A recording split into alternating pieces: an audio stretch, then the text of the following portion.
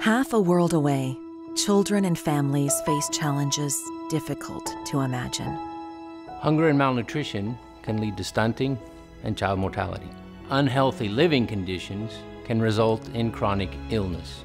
And for some families, keeping their kids in school and earning an income remains out of reach.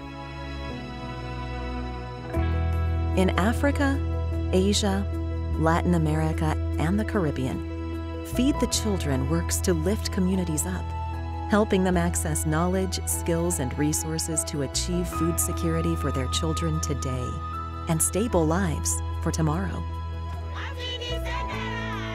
We manage uh, child focused community development programs that feed kids and teach nutrition for healthy development, promote healthy water, sanitation, and hygiene practices, provide support for education, and demonstrate the skills needed for self reliant livelihoods. We measure results child by child, family by family, community by community, and won't stop until we've changed the world. The difference you can make is boundless.